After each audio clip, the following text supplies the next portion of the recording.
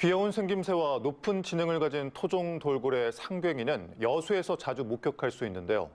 멸종 위기 중인 상괭이가 최근 그물에 붙잡혀 질식사하는 경우가 많아 개체수 감소에 대한 우려가 나옵니다.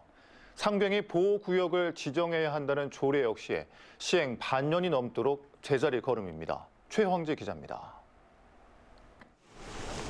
상괭이 한 마리가 호흡을 위해 수면 위로 올라오고 또 다른 상괭이는 바닷속을 유유히 헤엄칩니다. 전남 여수는 상괭이의 주요 서식지지만 최근 들어 상괭이의 사체 발견이 눈에 띄게 늘었습니다. 이날도 수색을 시작하자마자 성인 남성보다 큰 상괭이 사체 한 마리를 발견했습니다. 죽은 지 얼마 안 된 상괭이는 부검을 통해 사인을 파악하기도 하지만 부패 정도가 심각한 상괭이는 지자체가 인계한 후 폐기합니다. 지난해 여수에서 발견된 상괭이 사체는 모두 24구. 올해는 이제 3월 중순인데도 벌써 15구가 발견됐습니다. 부검하는 거 보면 거의 이제 질식에서 죽은 거, 그물에 걸려서 그 숨을 못 쉬서 죽은 그런 부분이 여수에서 많이 발견되고 또 봄철에 많이 발견되더라고요. 먹이 사냥 경험이 부족한 새끼 상괭이가 그물망에 잘못 들어갔다가 빠져나오지 못하고 질식하는 경우가 많습니다. 봄철 설치된 어망이 상괭이에겐 덫이나 다름없는 겁니다.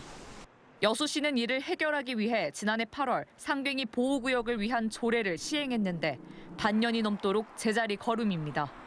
조례 시행 후 6개월 만에 상괭이 보호위원회가 구성됐지만 관련 예산이 세워지지 않아 회의가 열린 적은 한 차례도 없습니다.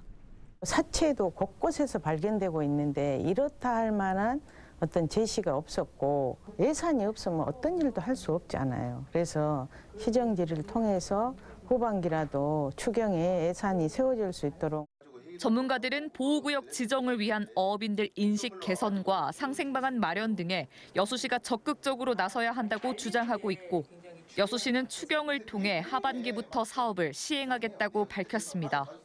MBC 뉴스 최왕지입니다.